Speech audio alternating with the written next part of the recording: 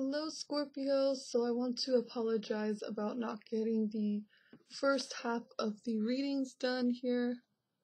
Crap, all the pop-ups want to happen. Okay, so let's go ahead and do your love reading for February 16th through the 28th, I think it is.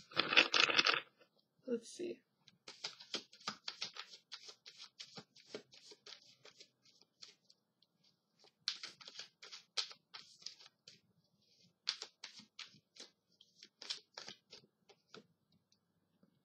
We have the lovers, five of cups, seven of swords in the reverse. So there was a decision here that you made, okay, or someone else made, okay, a decision in the relationship that ended up leading or that will lead to sadness here, okay? I feel like there is also going to be um, something that is spoken, some sort of communication, or something that your intuition was bugging you about that is going to prove right, that is going to um, come out and be exposed here with the Seven of Swords in the reverse, okay? So with the lovers here, you could be dealing with a Gemini, but overall the lovers talks about um, a decision we have the Emperor in the reverse. I want to pull out another card. So we have Aries, Taurus. You know, the Emperor, I also see it as Scorpio. Okay. And then we have the Tower. Wow. So I feel like somebody here tried to control a situation.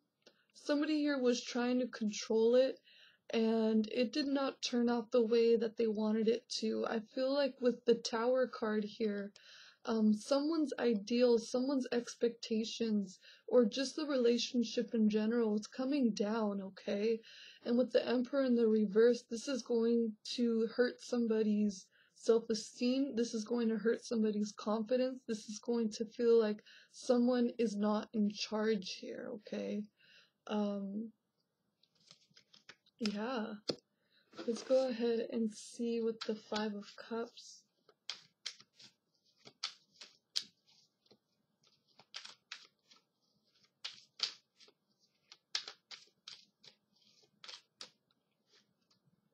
We have um, the Seven of Pentacles and the Queen of Wands in the reverse here.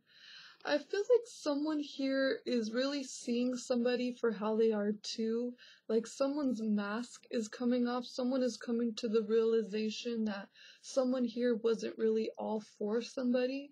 Somebody here isn't doing what they would say um, you know, with the Seven of Pentacles here and the Queen of Wands in the reverse, someone here wants more passion in their life. Someone here keeps on getting the same results with somebody. And I feel like there's one person here who is wanting change. And I feel like there's another person here who um, wants to stay where they are comfortable at. Someone here doesn't see the other person as uh, as someone who is not growing, I want to say, sorry I keep on repeating myself here, okay? But overall, there is an ending here that is happening, and someone isn't feeling um, passionate towards the other person. I also see someone's confidence feeling low as well here. So the Seven of Swords in the reverse.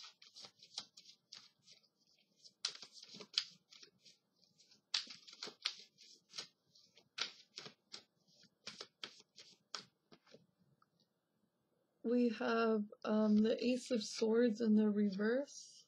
Wow, the Wheel of Fortune in the reverse. For some of you, there may have been lies here. Some lies, manipulation, um, finding out that somebody has been taking advantage of you is what I want to say here. Someone was controlling in the relationship. Someone is finally seeing the other person for who they truly are here, okay? Um, and someone's sad about it, okay?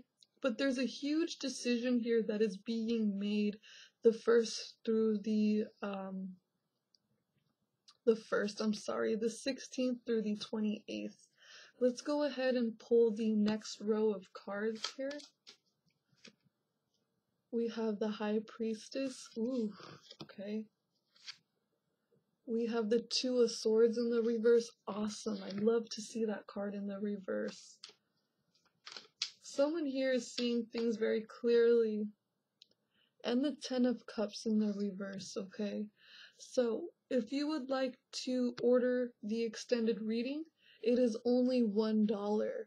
And you can find that in the description box below. There should be a link to my website where you can purchase it. Alright, thanks Scorpio. I'll see you guys next time. Bye.